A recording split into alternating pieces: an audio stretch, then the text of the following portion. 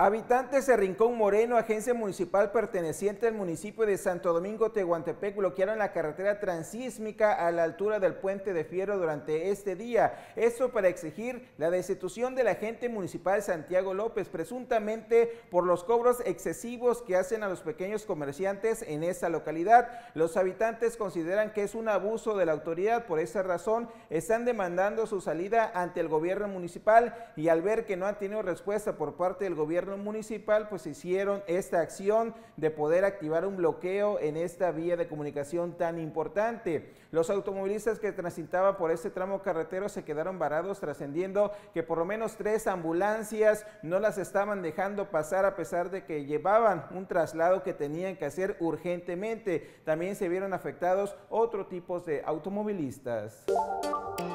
La tarde de este jueves, un grupo de promotores deportivos del municipio de Santo Domingo, Tehuantepec y también autoridades denunciaron una presunta invasión en la unidad deportiva Guiengola. Las autoridades municipales, así como el presidente de la Liga Municipal, sostuvieron que se están invadiendo construcciones de lotes de 40 por 50 metros al interior de ese deportivo por parte de personas que aún no han sido identificadas. Indicaron que meses atrás se reportó el robo de malla ciclónica que existía como los límites perimetrales y hace 15 días se encontró notificado varios metros al interior del deportivo. Por esa razón, ese día realizaron una conferencia de prensa para hacer la denuncia pública. Explicaron que la invasión se dio del lado oriente de la unidad deportiva frente a la torre de vigilancia del penal de Tehuantepec, donde ya existe el proyecto de una cancha de fútbol para niños y arbolados y también pues toda esta situación se está saliendo de las manos y no solamente lo hicieron públicamente hoy, sino también en comentarios en redes sociales es la situación que se está viviendo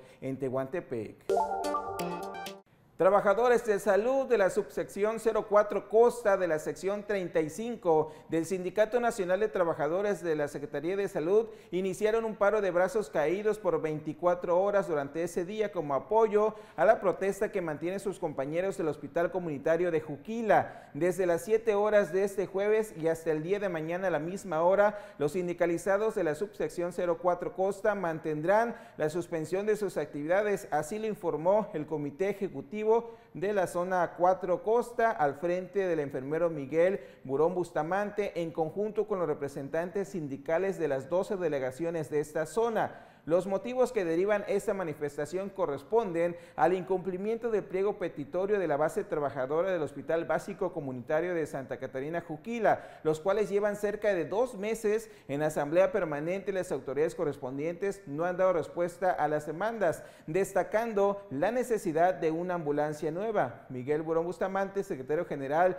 de la sección 04 Costa, demandó una mesa de negociación con las autoridades de salud y en caso de no recibir una respuesta favorable a las demandas de este sector, la gremial realizará sus acciones hasta lograr los reclamos que están señalando este sector afectado.